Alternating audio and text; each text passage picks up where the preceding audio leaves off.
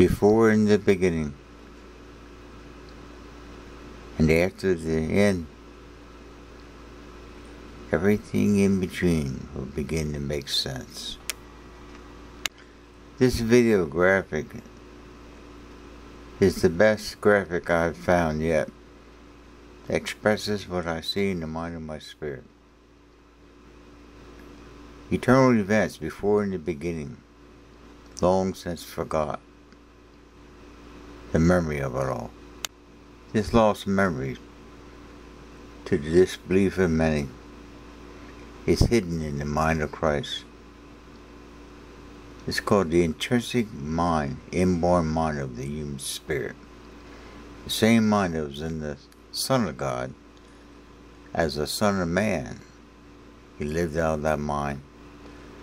And we were to live out of that mind by surrendering this carnal mind. And when we do this, these yet eternal sequences will come beyond created time and we will increase with the increase of God. That's what this video series is all about. Sequence of events from an eternal realm. This is really a upper spiral which this video doesn't, I mean, this graphic doesn't really express that. Lost memories, see, it goes into great depths.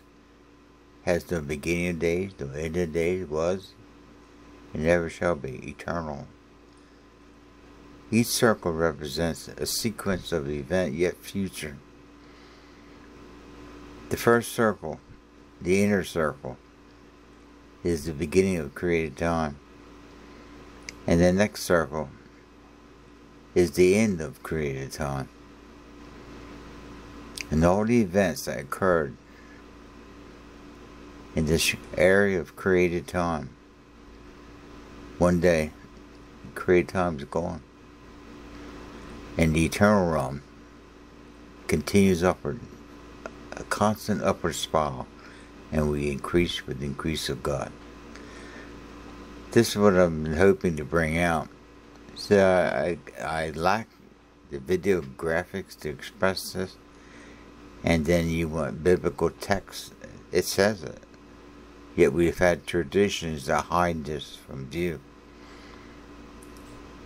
This mystery that Paul revealed of this mind of Christ being in us. So we recall our Father and our being with Him without some occult idea of a pre-existence. In our spirits, we know him as Father. How could we cry Abba Father if we wasn't our Father? He's our eternal Father. And we are his eternal offspring. That's what I've been hoping to bring out. So I'm going to end this video now. And we're going to be getting into some of these future events in created time that the book of Revelation brings out. So I'll be watching for those videos. God bless.